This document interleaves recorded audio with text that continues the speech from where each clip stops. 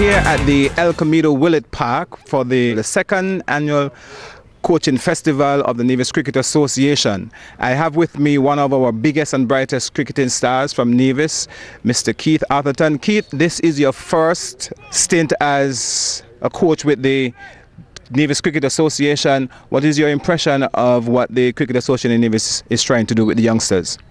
It's nice to be here. Uh, thanks to the president and members of the Nevis Cricket Association for asking me to come here and make a contribution. It's something that I always wanted to do over the years, and now that I'm here, I hope that we can have some continuity in my present so I could come around and contribute my expertise. But I think the, the idea is very good. But the thing is about these programs, it doesn't make sense just having them on a one occasion because um, it's over a period of time that will um, will create the sort of success that you're looking for, uh, the sort of development and the skills of the youngsters. Definitely looking forward to see what these guys are made of. Um, I know that Nevis is blessed with a lot of talent, especially when it comes to cricket. Uh, I've been asked on numerous occasions in my test and international career, how can a small island produce test players of you know such small population of just about 10, 15,000. Sometimes I don't say that, I say more because they will laugh at me. But um, but yes, we've been blessed and um, we have we have to always recognize that we it's a sort of sport that we master. Uh, time and time again, we you know we produce players, so we got to continue along that line. I personally feel that we have players that are good enough to always be knocking on the door or to have somebody on the West Indies team. But um, cricket is not only going out there and playing the skills. I think discipline have a serious part to play with it, and, and that's what creating some of us downfall um, as we speak. Yes, and Keith, you would have made it to the pinnacle of cricket um, in terms of playing Test cricket.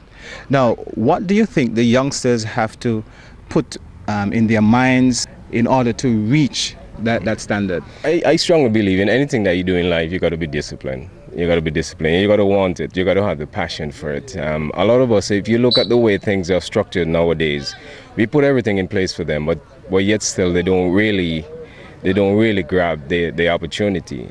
Um, I have an old saying that goes, you can take a horse to the well, but you can't make it drink you know? So we got to know start to recognize um, the sort of talent and the sort of ambition the dedication the commitment of these players because we've been blessed with the talent but talent only take you that you know that far about halfway to the to, to that journey. You know we got to start looking at the mental capacity of each and every player you know because cricket is a mental game. It's not just a physical game. We are all blessed with a, with a talent you know, you got a youngster just take a bat up and doing the right things without anybody, not without being taught.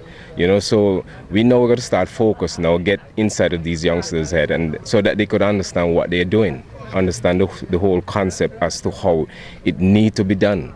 You know, we in our time we used to just go out there and play bat and ball cricket, but cricket ain't supposed to be played like that.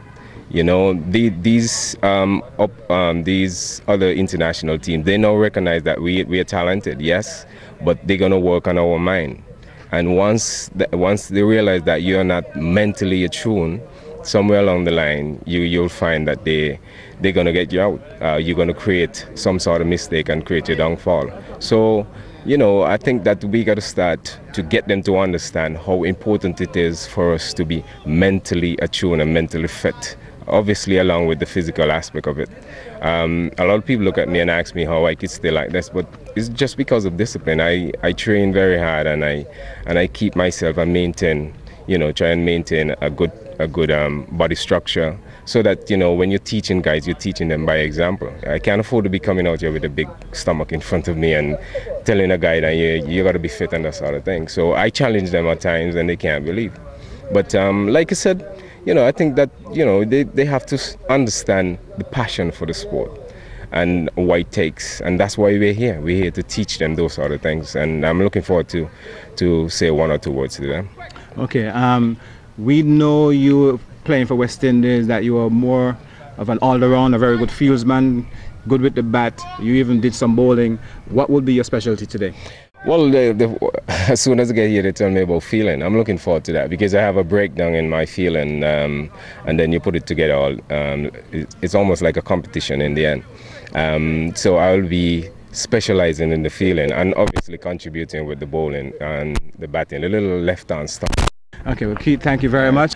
Hope to see you back next year.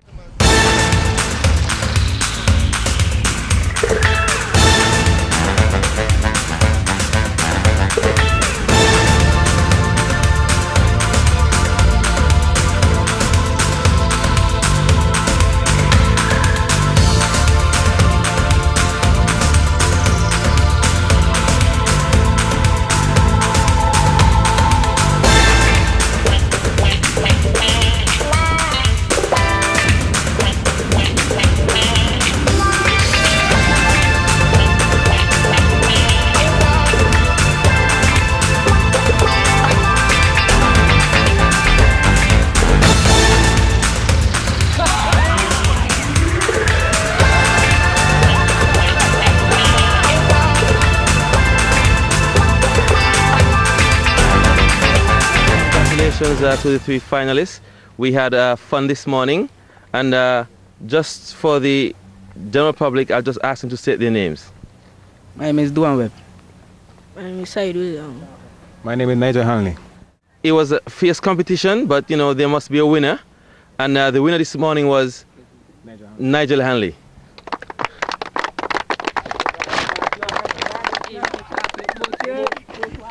And uh, for Nigel Hanley, we have um, a brand new Samsung GT B3310 phone.